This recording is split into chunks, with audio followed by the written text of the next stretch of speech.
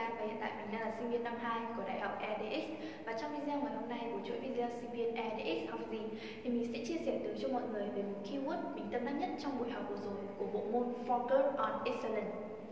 Hôm nay đã là buổi thứ tư trong chặng đường của mình trong buổi học của bộ môn này. Và hẳn là từ đầu video, từ những cái video đầu tiên của buổi học và tới video này là đã là video của buổi học thứ tư thì mình cũng đã phần nào chia sẻ tới cho các bạn rất là nhiều keyword và hẳn các bạn cũng đã nhớ một keyword rất quan trọng trong việc chúng ta tập trung đạt được tới sự tuyệt hảo đó chính là sự quan sát Vậy thì bên cạnh cái việc chúng ta quan sát, các bạn có đặt một câu hỏi rằng chúng ta cần quan sát như thế nào không? Chúng ta cần tập trung quan sát, chú ý quan sát, lắng tâm quan sát hay là quan sát liên tục? Thì đấy là một trong những cách học của bọn mình khi mà bọn mình có những cái có một cái keyword hay bọn mình học được về một cái từ khóa nào học về một điều gì đấy. Thì cái quan trọng đó là chúng ta phải đào sâu, mở rộng. Tức là bên cạnh cái việc chúng ta học được từ quan sát đấy, chúng ta phải xem các khía cạnh xung quanh bên ngoài của từ quan sát. Ví dụ như là chúng ta cũng phải chú ý quan sát hay là việc quan sát liên tục. Quan sát liên tục là như thế nào, nó có khác với quan sát hay không? Thì đấy là một trong những cách học để chúng ta hiểu hơn về những kiến thức, về một cái tri thức nào đấy khi mà chúng ta tiếp nhận. Và trong video này thì mình muốn chia sẻ tới cho mọi người một keyword mà mình tâm đắc và mình cảm giác rất là quan trọng. Mặc dù trong buổi học có rất nhiều keyword khác nhau và với mỗi người, với mỗi bạn thì cũng sẽ có những cái ờ, cảm nhận khác nhau và những cái dấu ấn khác nhau về keyword đấy. Và với mình, keyword mà mình cảm giác, mình cảm giác tâm đắc và quan trọng nhất đó chính là sự lắng tâm.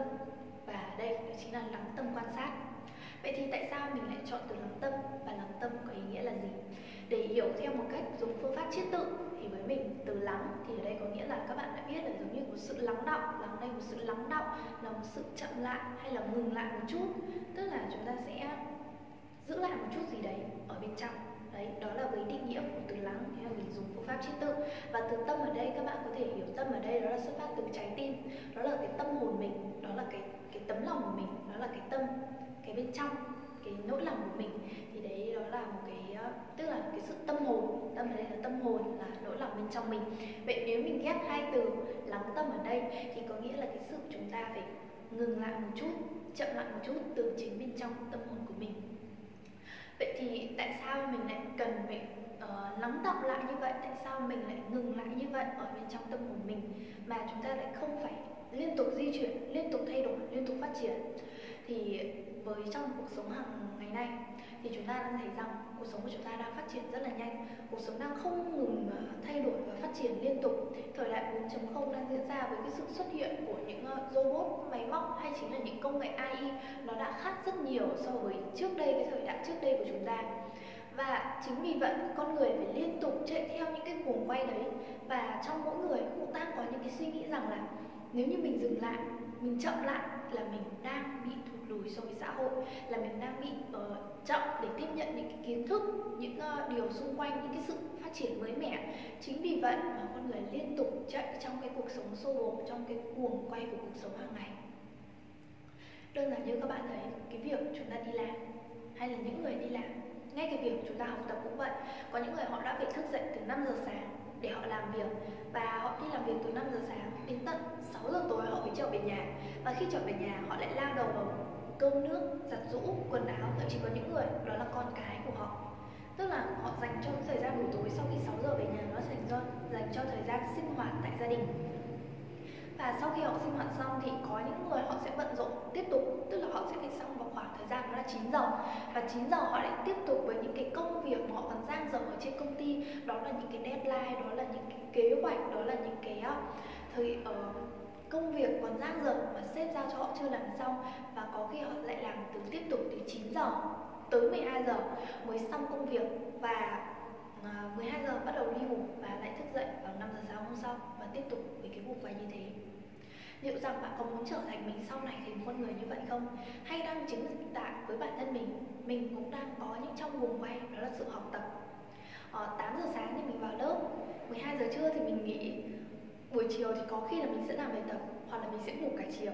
Và đến buổi tối thì mình có thời gian chơi hoặc mình sẽ lại cứ làm thời gian tức là mình sẽ cứ làm bài tập mà mình không có sự tập trung và mình cứ thế làm dài lê thê và đến tận khoảng 90 giờ thì mình đi ngủ và mình lại bắt đầu cuộc sống vào ngày hôm sau vào lúc ờ, uh, 6 giờ sáng và 8 giờ sáng mình đi học. Chúng ta đang sống trong một cái cuồng quay của xã hội như thế mà chúng ta đang không có sự lắng đọng lại. Chính bản thân đang không nhìn lại chính mình đang có sự thay đổi ra sao với trước đây chính vì sự uh, thay đổi như thế cái sự uh, di chuyển không ngừng như vậy khiến cho chúng ta có những cái sức ép trên bản thân mà mình không có nhận thấy được. Nếu như không có sự lắng tâm thì sẽ không nhận được những cái sự thay đổi đấy.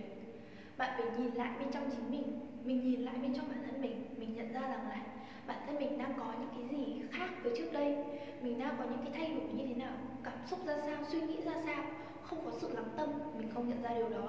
Mình không gọi tên ra được những cái cảm xúc của mình bởi vì mình đang bị chìm đắm trong cái vùng quay kia. Những áp lực của công việc, những kế hoạch, những cái điều xếp giao hay là những cái bài tập về nhà, mình bị dồn lên người.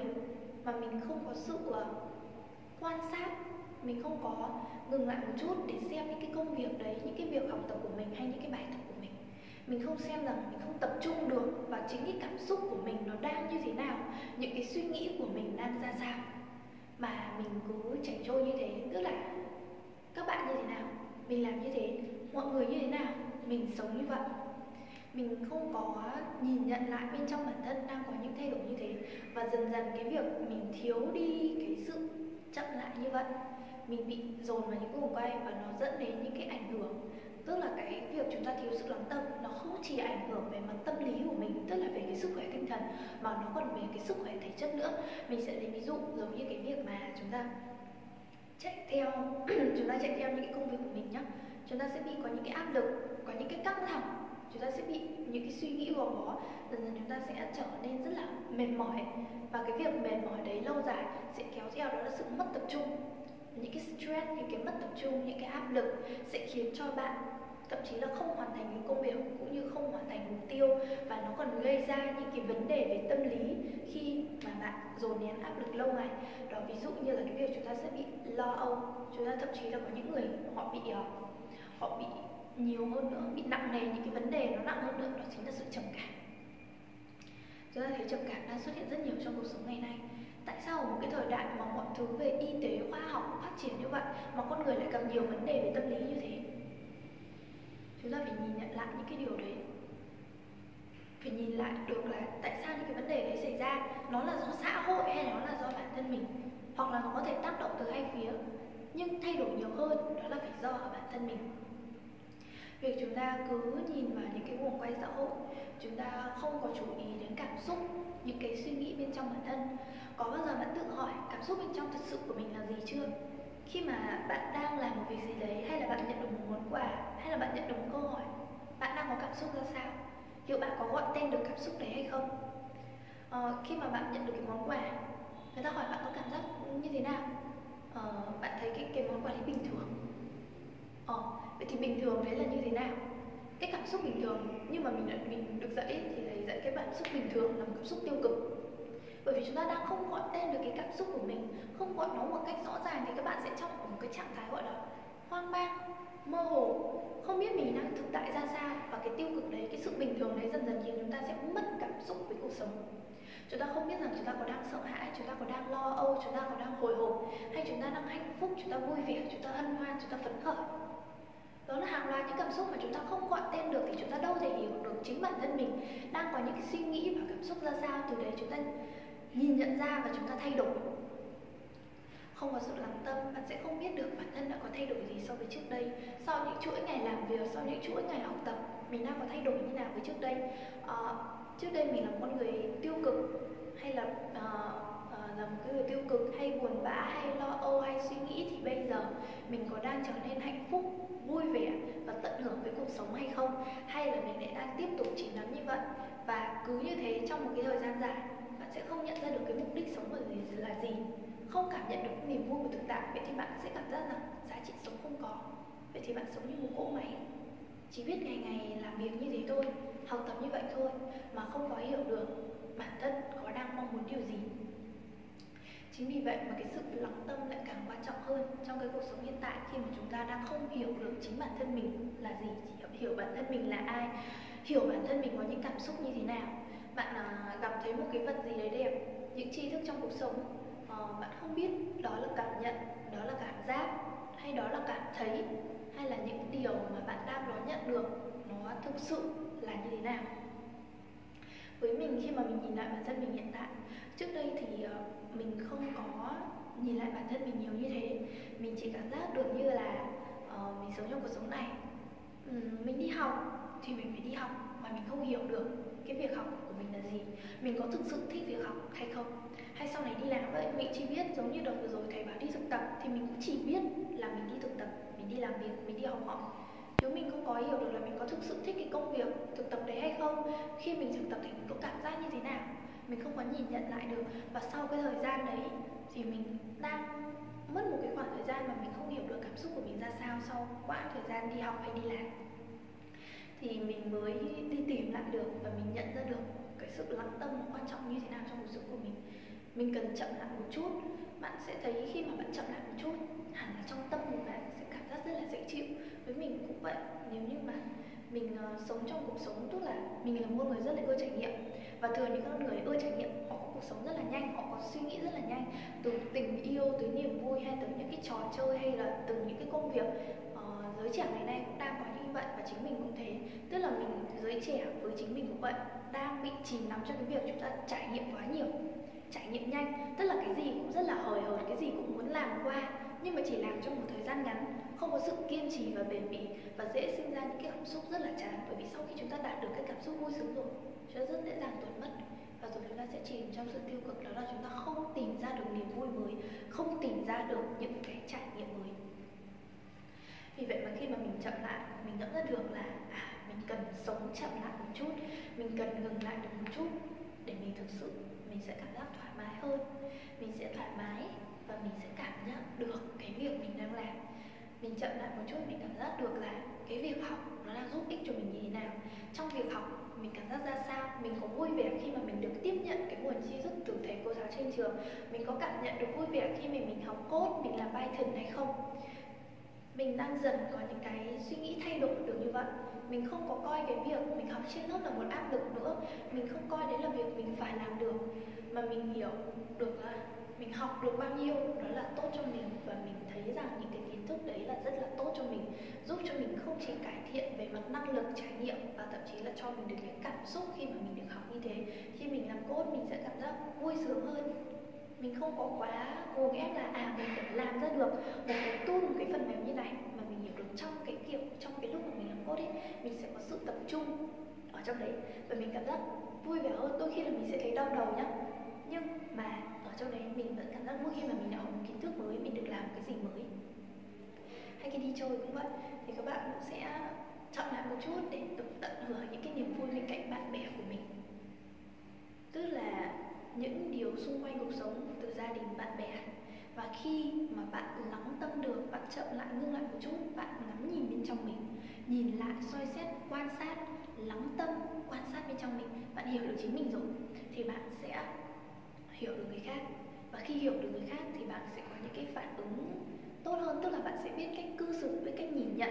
Bạn sẽ nâng cao được cái tinh thần của mình, nâng cao được cái sự ờ, tập trung và sẽ giảm đi những căng thẳng khi mà chúng ta có được cái sự lắng tâm và chậm lại như thế. Chúng ta sẽ bớt đi được những cái sự hời hợt này, bởi vì chúng ta sẽ không còn mơ hồ hay là hoang mang trong những cảm xúc xung quanh nữa và bạn sẽ hiểu hơn bên trong chính mình. Vậy thì với những cái mà việc lắng tâm đem lại cho chúng cho mình những cho bản thân những uh, điều uh, tích cực như thế những cái sự cải thiện như vậy thì mình làm sao để mình rèn luyện được sự lắng tâm này? Ờ, theo như mình thấy thì cái việc mình rèn luyện sự lắng tâm nó không phải là ngày một ngày hai đó là cả một chuỗi ngày dài để chúng ta có thể rèn luyện được. Bởi vì không thể nào mà chúng ta đang làm con thỏ chúng ta đục cài chúng ta thành con rùa tức là phải trải qua những cái trải nghiệm, trải qua sự rèn luyện. Các bạn có thể học bằng cách giống như là khi mình đọc sách, thì mình cũng sẽ có những sự trầm lắng. Các bạn có thể nghe những cái giai, có những cái đoạn nhạc, có những cái giai điệu chậm rãi. Các bạn có thể học yoga hay các bạn có thể học thở.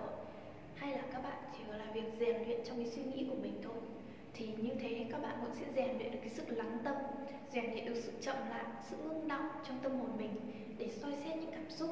Và một cách nữa đó là việc chúng ta gọi tên ra được những cái cảm xúc của mình. Bởi vì chỉ khi chúng ta chậm lại, chúng ta ngừng lại một chút thì chúng ta mới nhìn được là cảm xúc của mình đang vui, cảm xúc của mình đang buồn, mình đang phấn khởi, mình có đang tích cực hay mình có đang tiêu cực hay không. Thì việc gọi tên ra những cái cảm xúc, cảm giác, cảm nhận hay là cảm thấy cũng là một cái quan trọng trong cái việc chúng ta thực hành cái keyword lắng tâm của mình. Như vậy là mình cũng đã chia sẻ tới cho các bạn về cái việc keyword lắng tâm quan trọng với mình và mình tâm đắc ra sao. Nó không chỉ là trong cái vấn đề trên cái khía cạnh của mặt tâm linh là việc chúng ta bình ổn trong cái tâm lý của mình, mà nó còn quan trọng cho cái việc để chúng ta quan sát lại bản thân, chúng ta nâng cao cái tinh thần của mình giảm đi được những cái căng thẳng khi mà chúng ta đang ở trong một cái xã hội đang phát triển rất là nhanh. Cái lối sống nhanh nó đang diễn ra mà chúng ta không thể kiểm soát được. Vì vậy mà trong cái ờ, video này hy vọng là các bạn có những cái thay đổi bên trong mình. Mình mong muốn chúng ta có thể uh, chậm lại một chút hơn ngừng lại một chút lắng động đó là một cái sự thư giãn đó là một cái để chúng ta nhìn nhận lại bản thân nhìn nhận lại chúng ta đang có những cái thay đổi gì và nếu cái hiện tại của bản thân đang không tốt thì chúng ta nhận thấy được những thay đổi đấy. Chúng ta sẽ đi thay đổi bản thân xây dựng nên con người mới của mình có mục tiêu và là một con người mà mình muốn hướng đến chứ không phải là một con người đi theo cái sự giống cuồng của xã hội. Hãy tìm cho mình một cái sự lắng tâm và quan trọng đó chính là có lắng tâm quan sát. Lắng tâm được rồi thì sẽ quan sát tốt hơn được từ bên trong mình và chính những điều xung quanh. Xin cảm ơn các bạn đã theo dõi video này của mình và mình rất mong được uh, những lời nhận xét hay là góp ý về cái chủ đề keyword lắng tâm này của mình. Cảm ơn các bạn đã theo dõi.